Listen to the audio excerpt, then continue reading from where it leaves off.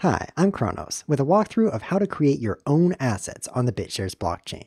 BitShares offers a powerful platform for creating your very own tokens. They're called user issued assets, and it gives you a huge amount of control over exactly how they work. For example, you could set up a specific list of accounts that are allowed to own your token, or you can take that right away and allow anyone to own it. You can even say that you have to personally authorize every transfer of the token, or you can say anyone can own it and trade it freely on the decentralized exchange. It's all up to you. In this video, we'll simply walk through how to create a token and set those permissions in the web wallet. Let's get started. Here we are in the BitShares web wallet, but you can actually see in the URL that we're connected to the BitShares test network. That's because creating a user issued asset on the BitShares blockchain costs a little bit more in fees than a simple transfer would, and I don't want to spend those fees today because we're just making a demonstration video. You can connect to this test network if you want to play around with creating your own assets without paying the fees on the live network. To create your own asset, you'll click the Account tab in the upper left to bring up your user account page. Then, in the left navigation, you'll see the Advanced Features section, and you'll find Assets there. This brings up a list of the user-issued assets that you've already created. Of course, it's blank because I haven't created any, so let's click the Create Asset button. Here's the form that you'd fill out to create a new asset. The symbol is the shortest name that you would use for your asset. The BitShares core token symbol is BTS, so it's going to be very short. Let's use Cron, short for Chronos, which is going to be my own personal asset. The maximum supply is not the starting supply of the coin. It's simply the most that the coin can ever have is its maximum. So even though the default here is pretty high at 100,000, let's move this up a bit. Um, how about a billion? Because there's really no reason that you wouldn't want a very large maximum supply. When the coin is first issued, the supply is going to be zero, and I'll walk you through how to issue that for the first time. So this maximum is simply a limiter on that, and we don't want to be limited, so let's set that to a billion. Number of decimal points, four, that seems reasonable to me. The smart coin is an interesting BitShares feature that you probably want to leave off on your asset. BitShares smart coins are assets that track the value of something in the outside world. For example, BitUSD tracks the value of the US dollar. If you want to create your own asset that also tracks the value of something outside by using price feeds, it's a little bit more complicated. We're not going to cover that in this video, but that's where you would turn on SmartCoin here. For your asset, you're probably going to want this off. The core exchange rate is discussing the fee pool, which people can use to pay fees with your asset.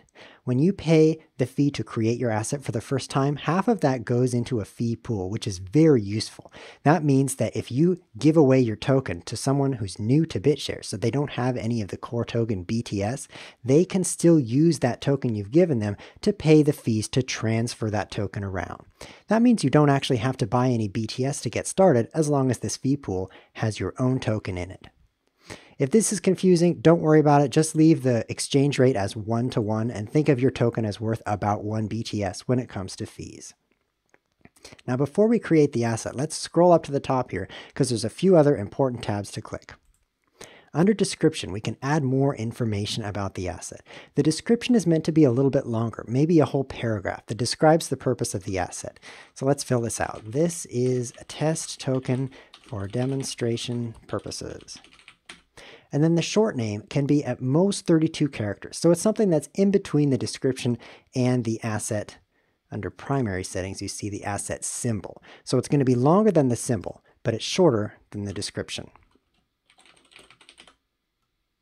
The preferred market pairing is the asset that this token will be traded against primarily. And I would recommend setting that to BTS or I guess in this case, we're on the test network, so it's called test. But if you're doing this on the live network, you would use BTS, which is the core BitShares token.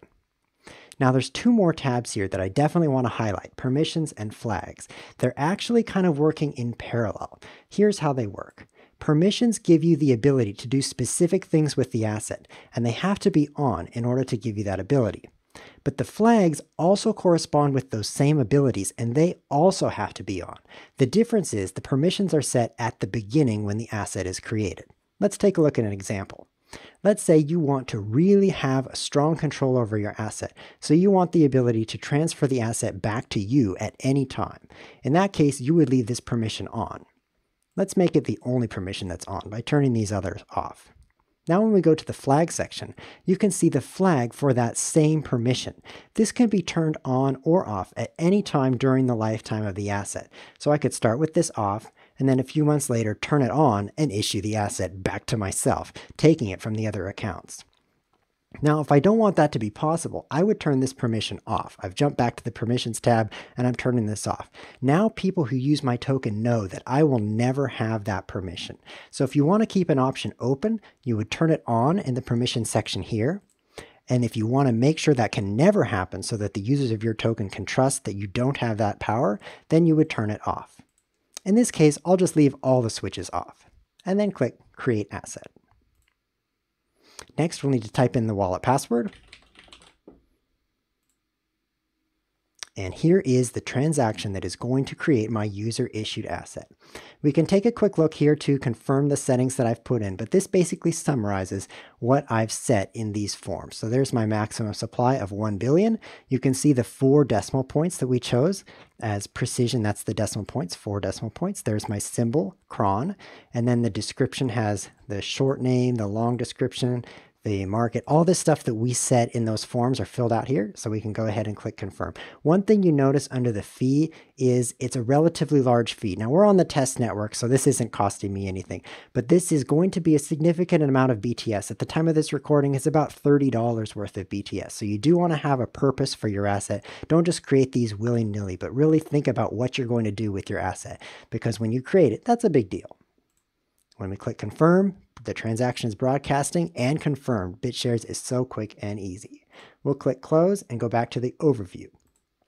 Now, I need to tell you, even though we created the asset, it still doesn't exist. Remember, our maximum supply was a billion. Our actual supply is still zero and we need to wait until the asset is confirmed on the network by a majority of witnesses. So you can see it's still pending three blocks here. Here's my transaction where I created the asset and it's waiting for just a few more blocks. Once that's done, it's going to appear in my assets tab. Two more blocks. At this time, blocks come out every three seconds, so it's not going to take long for that to be confirmed. Once that's done, we're going to be able to issue the asset for the first time. And this is something you might overlook, issuing the asset. But if you don't do it, then none of it exists. So that's that might catch you the first time you're doing this. So now that that's been confirmed, let's click Assets. We wait a moment and the new asset that we've created will show up here on the screen. There it is. There's my symbol, cron, and you can see the button, Issue Asset. This is that last step that you'll need to take in order to actually give yourself some of your new token. So I can issue this to any account. Of course, I'm going to issue it to myself, which is Chronos Demo 1. I can choose how much to issue. This is where that 1 billion limit comes into play. I can't issue myself more than a billion. That's okay with me. I'll just issue 10,000 and I can write myself a memo. Hello, Chronos. I think the memo is kind of silly in this case, but if I'm issuing it to another user account, then this memo will be delivered to them so that they can receive a message saying, you know, I'm getting this asset from this other person and here's the message they're including. Could be a thank you note, for example. I've clicked issue. I need to confirm this transaction. You can see this fee is very, very small, just a tenth of one uh, core token. So this is like a transfer in a sense that the fee is very small. Click confirm. We've already unlocked the wallet, so we don't have to do that again. And now that's been confirmed. So now let's jump back to the overview one last time and take a look at that new asset. Look at that. There's my 10,000 cron. So now that that's done, I now have that asset for the first time. That's all it takes to create and issue a user-issued asset on the BitShares blockchain. From here, you can go ahead and send your asset to the people who you want to own it, or even offer it for trade on the decentralized exchange. If you have any questions, feel free to post in the comments below the video. I'm Chronos. Thanks for watching.